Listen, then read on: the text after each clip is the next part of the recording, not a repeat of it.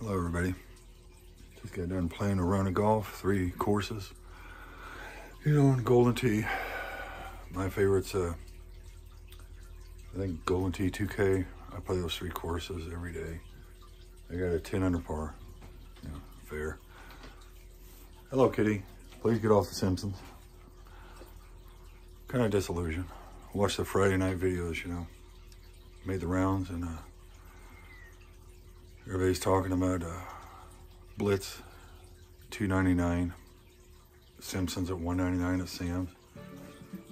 I was gonna go to Sam's next week and look at price drops, and now I'm just disillusioned. I'm like, why, you know? And I was thinking about it. You know, they are games, right? And we enjoy buying them and enjoy looking at them when they're all lit up. But uh, had the flu for almost two weeks. Still getting over it. Didn't come in here much, you know. I was sick and it makes you, it gives you time to think, and uh, they are games, right?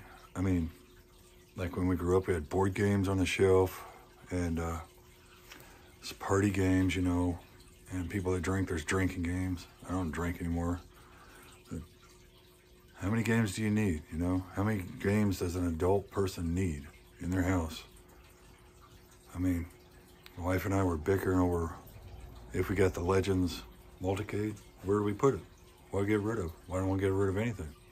I don't want to sell anything. So I don't know. Just disillusioned. I mean, if I shell out five hundred dollars a month or two from now, is it going to be two fifty? I mean, I'm not poor and broke, but I'm on a fixed income, and I'm not going to shell out five, six, seven hundred dollars, you know, and then three months, six months later.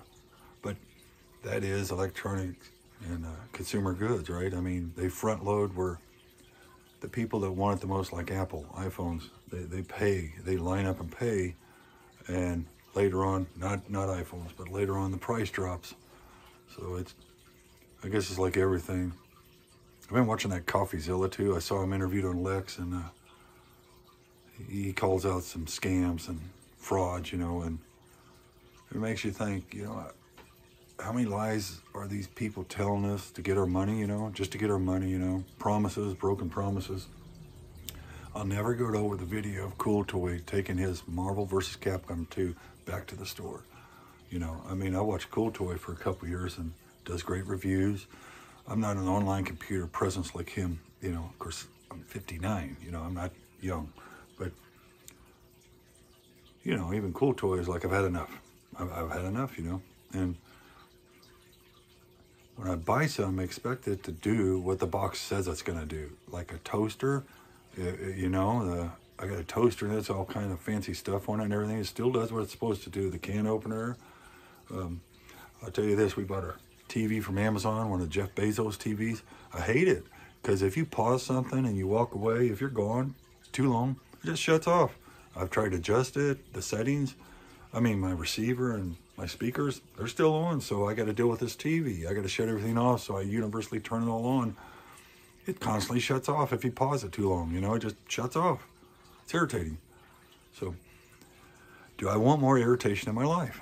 You know, do, do I want a nice, peaceful, happy life? Yeah. You know, and, um, do I like to play games? Yes. Do I play them 20 hours a day? No. No. There's other stuff to do, but the games I do have, I enjoy. I love this Golden Tee. You know, it's a lot of fun.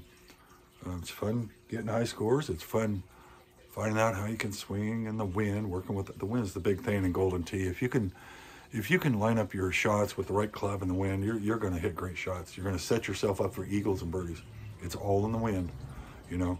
If you carry that, because the uh, little announcer will say, "Great shot, just great shot," you know, because you've done what you're supposed to. This is way long. This is twice as long as I wanted it to be, but I don't know. I guess my opinion may change, but right now I don't want to buy anything.